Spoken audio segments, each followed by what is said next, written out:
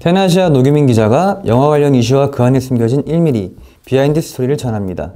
노규민의 씨네락 얼마 전 유튜브 채널 가로세로 연구소에서 한예슬의 남자친구는 딱 비스티보이즈다 라고 말해 파장이 일었습니다. 가세연은 한예슬의 남자친구가 영화 비스티보이즈에서 그렸던 호스트, 일명 선수라고 주장했죠. 한예슬은 소설이라고 반박했고 한예슬과 그의 남자친구 관련 논란은 점점 거세졌습니다.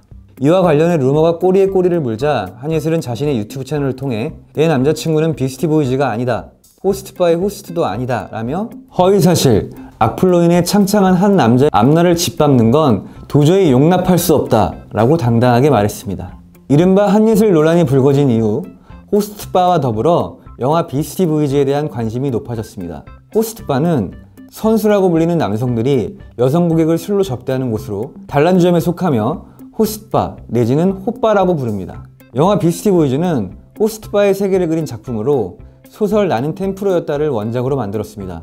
용서받지 못한 자, 범죄와의 전쟁, 군도, 공작 등을 연출한 윤종빈 감독이 메가폰을 잡고 하정우, 윤계상, 마동석, 윤진서 등이 열연했죠.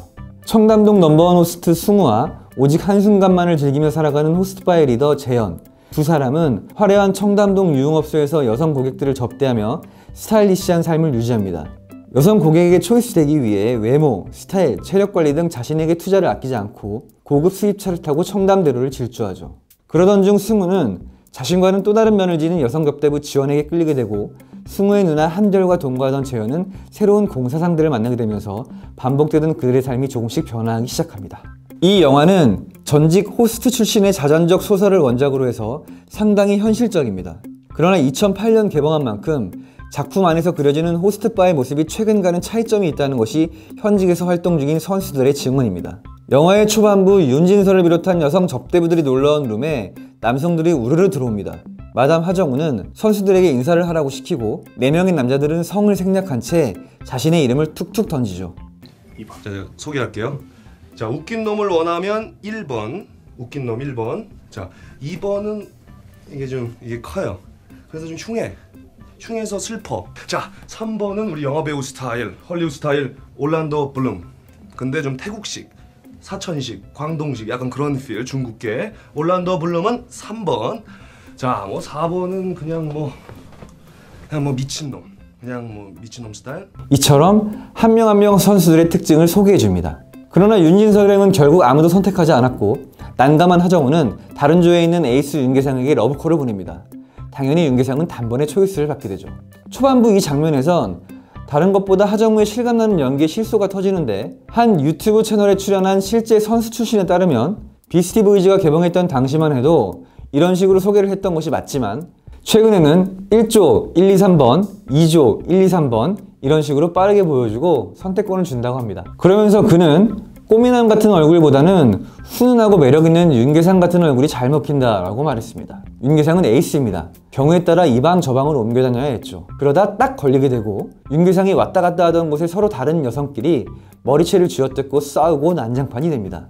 예나 지금이나 실제로도 이런 상황 때문에 싸움이 비일비재하다고 하네요. 또한 영화에선 하정우와 윤계상이 호텔방을 잡고 여성 두 명과 술 파티를 벌입니다. 게임도에 가며 화기애애한 시간을 보내던 여성은 하정우와 윤계상에게 고가의 옷을 선물해 주는데 두 사람에게 부담감 따위는 전혀 없습니다. 당연한 듯 받아서 아무렇지 않게 옷을 갈아입죠. 실제 선수 출신은 저래야 된다. 선물 받으면 아무렇지 않은 척을 해야 한다. 영화가 디테일을 굉장히 잘 살렸다 라고 말했습니다. 착해 내놔.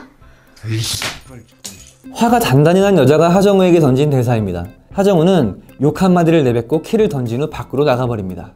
여성 고객들과 깊은 연인으로 발전하는 선수도 있고 받을 것 다 받아먹고 은근슬쩍 버리는 선수도 있다고 합니다. 선수에 빠진 여성들은 고가의 옷, 시계 등은 물론 차도 선물로 준다고 하네요. 물론 영화처럼 마지막 순간에 웬만하면 차는 빼앗아 간다고 합니다. 사실 굉장히 거북스러운 장면이지만 이 영화의 하이라이트는 하정우가 여성을 폭행하는 모습입니다. 야 이 새끼야 너 인생 그렇게 살지 마. 하려면 어? 네가 해준다고 이 어, 나 씨. 실제 선수도 이 장면에선 혀를 찼습니다. 하정우는 너무 악질이다. 악질 중에 끝판왕이다. 라고 말했죠. 그렇다면 제비라는 말은 어디서 나왔을까요? 가세현은 한이슬 남자친구를 제비라고 칭했습니다. 한국 호스트바의 시작은 캬바레였습니다. 일명 춤제비로 불리는 댄스 강사들이 여성들과 춤을 추고 술을 먹는 공간인 캬바레가 1990년대 초반 흥행했죠. 주 고객은 중년 여성이었습니다. 훗날 멤버십 운영, 폐쇄적 운영 등이 성행하면서 그저 불법 영업이라는 인식이 커졌습니다. 그리고 그곳에서 일하는 사람들을 두고 여자 등쳐먹고 내빼는 제비라 불렀죠. 최근에는 20, 30대 젊은 여성들을 중심으로 호스트바가 대중화됐다고 합니다. 선수는 몰라도 제비는 위험합니다. 비스티 보이즈의 악질 중의 악질 하정우 같은 남자는 절대적으로 조심해야 할 필요가 있겠습니다. 알아두면 쓸모 있을 수도 있는 영화 관련 여담을 들려드립니다. 노규민의 시네락